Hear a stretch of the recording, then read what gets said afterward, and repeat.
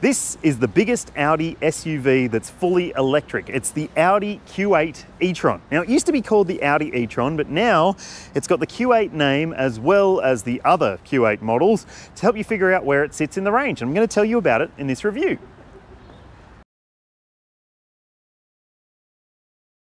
The Audi Q8 nameplate includes a few different models, including a couple of petrol versions. There's also a diesel model, there's a plug-in hybrid as well, and an SQ8 and an RSQ8. So this model range is already diverse. And now there's this, which is the Q8 e-tron, a fully electric model, which actually isn't like the other Q8s at all by Audi's own admission, it's a very different type of car. It's the existing Audi e-tron, just rebranded so you can imagine where it sits in the model lineup. So it's an 8. An 8 means luxury in Audi land, and that means that this is quite an expensive vehicle, not as expensive as some other high-end electric SUVs, but you're looking at more than $150,000 for the SUV version. There's also a Sportback model, which adds $12,000 to the price tag, but includes a few extras as well. You get bigger wheels, get a few other features inside and out, and you also get the swoopy roofline, but no roof rails, which you do get on the SUV version. And this one here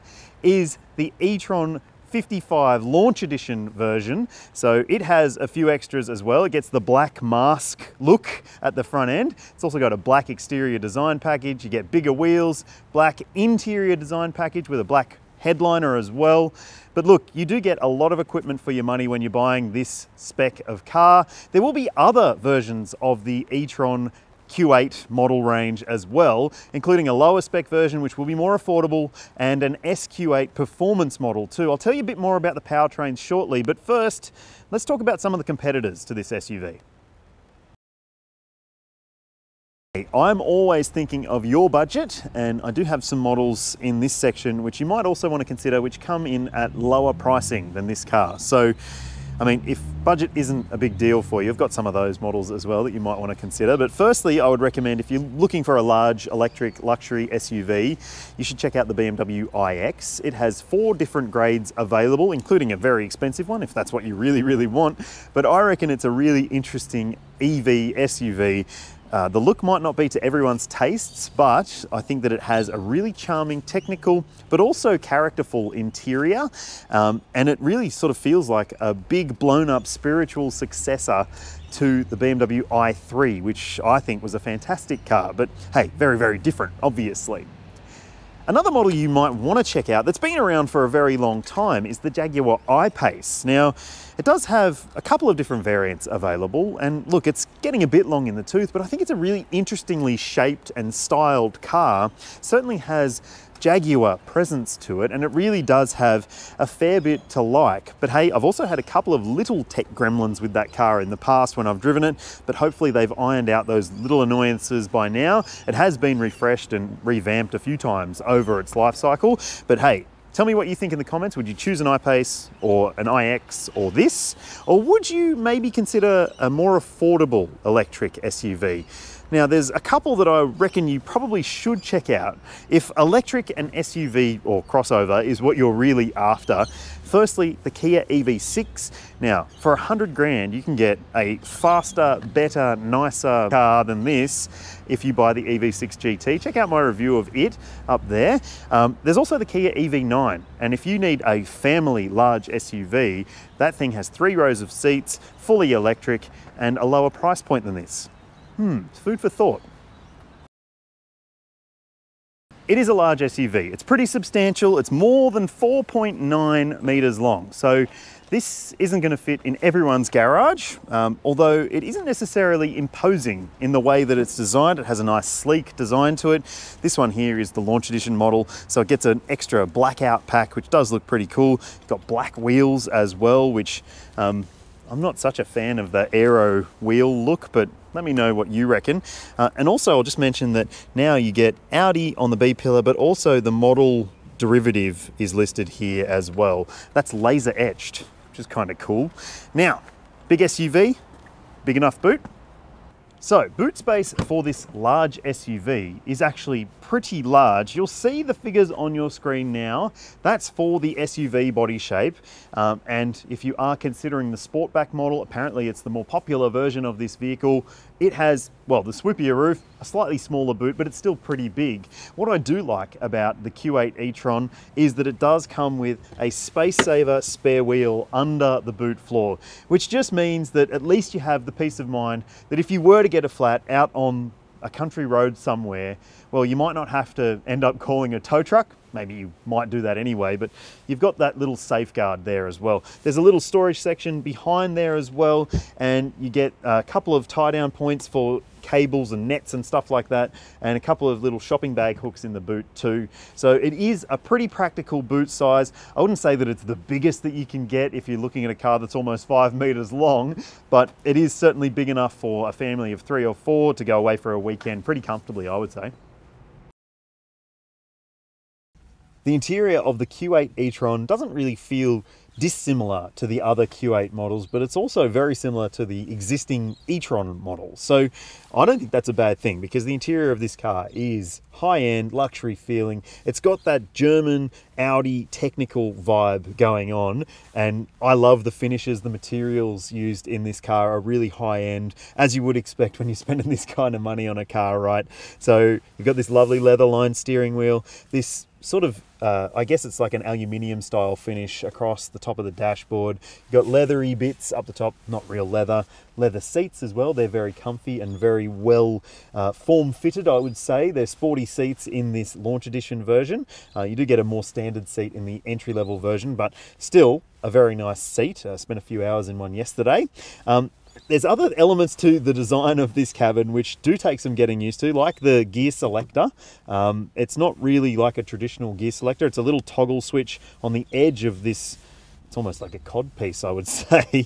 Uh, but yeah, there's a park button on the end of it as well. So that might take a little bit of getting used to, but it's there so you get extra space behind it. So you've got adjustable cup holders down there. There's a wireless phone charger with a little cradle so you can actually uh, sort of holster your phone in there so it's out of sight as well, which is good to see. A little small storage cubby behind there as well under the armrest, bottle holders in the doors. So it is a practical family-ish SUV and it does have some interesting elements to the controls when it comes to uh, let's say your air conditioning and fan controls and that sort of stuff they're done through this bottom screen now having stuff done through a screen is not for everyone, but at least you do get um, haptic feedback on that screen rather than just touching a screen and hoping that things will happen. At least you get some kind of reactiveness from the screen underneath.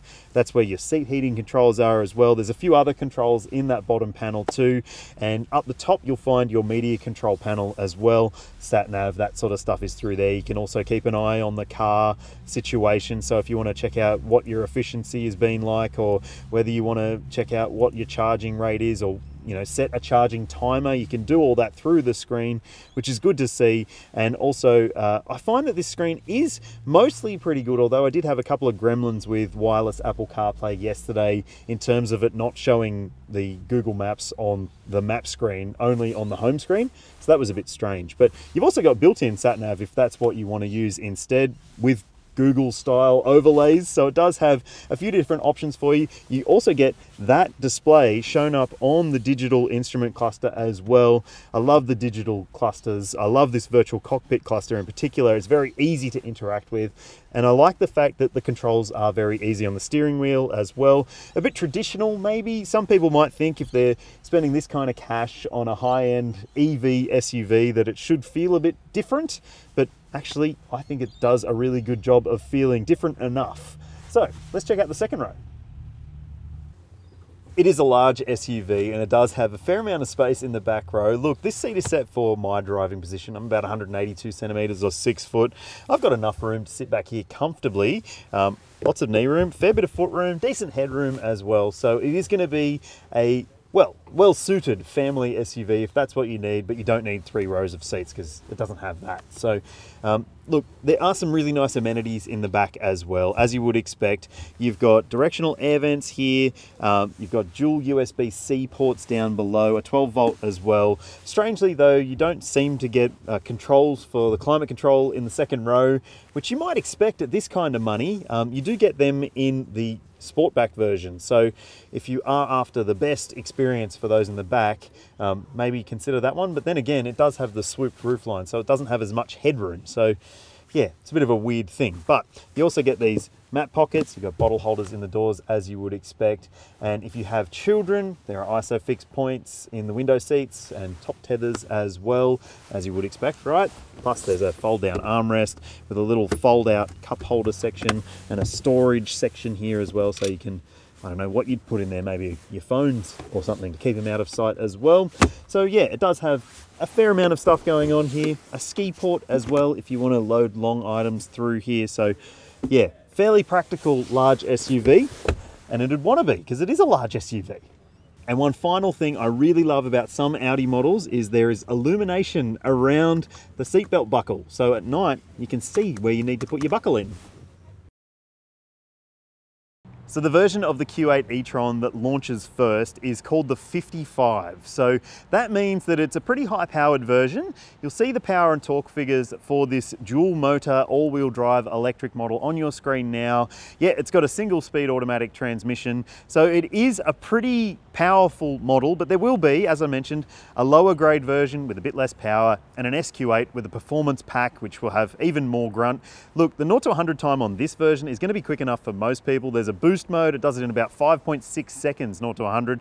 It's not as fast as some other cars, but this is a fair bit heavier than some of the other EVs out there. It's more than 2.5 tons unladen. So it's pretty heavy, but I do like the fact that you do get a few different cables included when you buy this car and there's a frunk. So you can put your cables in here so they're out of the way. They don't take up precious boot space. It's nice to see. One of the cool things about the Q8 e-tron is that it has a charge port on this side. This is the AC charger, and I'll just close that. Come with me and I'll show you another charge port. That's right, there's two different charge ports here for extra convenience. So on this side, you've got your AC and DC charge ports. So you've got a type 2 combination plug, as you would expect. Now let me tell you some of the rates at which you can charge. AC at 7.2 kilowatts, that's the standard rate. And no, you can't plug in on both sides to get a faster rate, but you can option in a 22 kilowatt onboard charger. It's about $7,000. So that will mean that you'll get a lot faster charging at home. And you might need to because the battery pack in this car is huge. It's 114 kilowatt hours, which is one of the biggest batteries known to man. Um, it's about 106 kilowatt hours of usable battery. Now, if you're wondering what that means in terms of EV driving range, you'll see on your screen now the figure, which is the WLTP claim. Now, keep in mind though, that is the worst case scenario. So that's for a vehicle optioned with 22 inch wheels, a sunroof and heavy stuff on the inside in terms of extras. So that's worst case. You, so you might be able to actually achieve better than that in real world driving. I'll tell you what I achieved in the efficiency section a little bit later, but first I want to tell you about DC charging. The maximum charge rate is 170 kilowatts, which isn't as fast as some other vehicles out there. That's because this is on a 400 volt architecture. Uh, some vehicles on an 800 volt architecture can well, apparently do up to 350 kilowatts of fast charging. Now, that means that 10 to 80%, you're looking at about 31 minutes from a fast charger. Good thing to know though, you also get a subscription to the ChargeFox network. So free fast charging on the road if you can find one that works. They are a little bit fickle, some of those chargers. But hey, um, I think there's a lot going on here when it comes to battery technology. For this launch drive of the Audi Q8 e-tron, Audi Australia brought us to Victoria where we started in Melbourne and we've made our way out to Bendigo in central Victoria across a mix of different roads to get here as well. A little bit of highway, a little bit of, well, a whole lot of country back road driving as well. So um, it's given us a pretty good indication of what this car is like to live with in Australian conditions. And it is pretty good, I've got to say.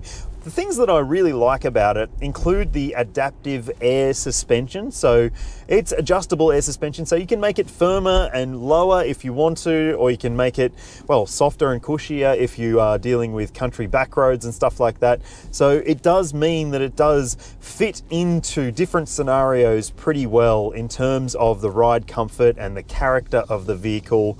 Um, it's not necessarily a corner carving monster of a sporty SUV. It's not supposed to be either.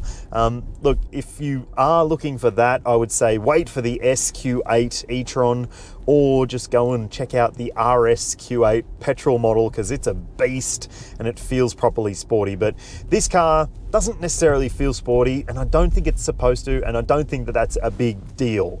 But what I will say is that compared to the previous e-tron model that was sold here, it does have a slightly better steering responsiveness to it, so it does change directions with a bit more, I guess, purpose than it used to. It used to feel just a little bit, well, sloppy, uh, but now it does feel just a touch more direct and accurate and offers a bit more feel or, you know, the perception of feel through the driver's hands. So I reckon it does have that uh, intuitiveness that you would expect uh, for a luxury SUV like this in terms of drivability. That means that it's also relatively easy to park. Um, I will say though that Personally, I would choose the model with the conventional side mirrors. I would not be choosing those digital mirrors, which they're an option pack. They cost about three and a half grand more. God knows what they would cost to replace if you ever had to. But um, yeah, it's it's a, uh, I guess, a horses for courses thing. If you like the digital mirror look and you like the idea of that technical element to the car, sure. But for me, it's a hard no, thanks. It just means that the car is a little bit harder to park because your depth perception is never as good as it is when you've got a standard mirror. And speaking of parking, you do get a surround view camera, front and rear parking sensors. There's a parking system, so it'll park itself for you if you're not confident. So yeah, it's got that whole element of livability pretty well sorted. Look, this version, the 55, has, like I said, 300 kilowatts and 664 newton meters, and that is plenty. And for a lot of people, it's going to be more than enough. So you have to ask yourself whether it's worth spending this much on the 55 version or waiting for the 50 model, which will have less power and torque, but will be more affordable. So it really depends on what you're expecting. And look, I will say that even though this car is heavy and you can feel the weight of this vehicle in corners. And even when you're accelerating it's not necessarily as neck snapping as some other EVs when it comes to putting your foot straight down on the pedal. But um, look it is still definitely fast enough for most people's needs. And if you need faster there's going to be faster models as well. So look this ticks the box I would say for most people. In fact it's going to double tick the box. You might not need two ticks like a lot of EVs, there's regenerative braking and you can adjust how aggressive or assertive the braking is or how gentle it is. So you've got the left paddle here so you can put it into the most assertive mode and it does have a level of one pedal driving, but it won't do the full abrupt stop thing that some other electric cars do when you take your foot off the accelerator. It does have a gentle, gradual slowing to it. So look, it is relatively good in terms of the regen braking and the feel through the pedal as well is good. It does have a nice feeling to this brake pedal. So um, it does really tick the box when it comes to stopping as well as going. Okay, let's talk about efficiency. So this isn't the most efficient luxury EV SUV. You'll see the WLTP worst case scenario number on your screen. That's the kilowatt hours per 100 Ks. 25 kilowatt hours per 100 is pretty high, um, but this is a big, heavy luxury SUV. So um, it's just a surprise that a car that has a battery that is 114 kilowatt hours isn't achieving something like 600 Ks of driving range, at least on paper. And remember, that's worst case scenario situation when it comes to that claimed figure. So, if you're wondering what I've seen across a mix of driving from Melbourne out to Bendigo and back, you'll see it on your screen now, the average that I saw. So, yeah, even higher than that official figure. So, this is not the king of efficient electric SUVs, but hey, again, I'm not sure it's supposed to be.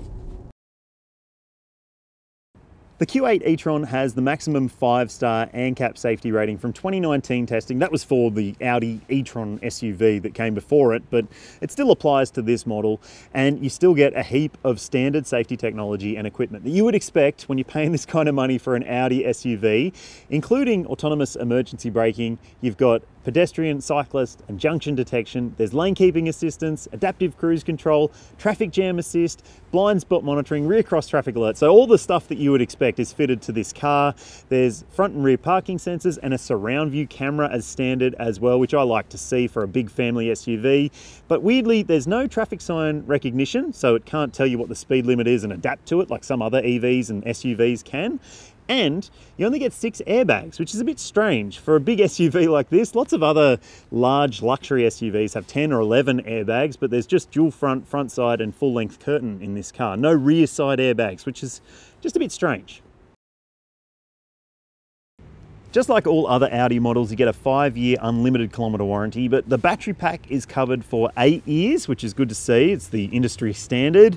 And you also get a pretty sweet deal when it comes to some ownership aspects for this car. So you've got six years of free servicing, but the service intervals are every two years or 30,000 K. So you get the first three services at no cost, if you don't do heaps and heaps of Ks at least. And then there's also six years of roadside assist included and that six year access to the ChargeFox network at no cost. Plus, Audi will also install a charging thing for you at home if you need it. So that's good to see. So, is it really a Q8? Well, it does stack up from the luxury perspective, and it does give people who are looking for a large Audi SUV a fully electric alternative that makes sense now because it does have a place to sit in the model line.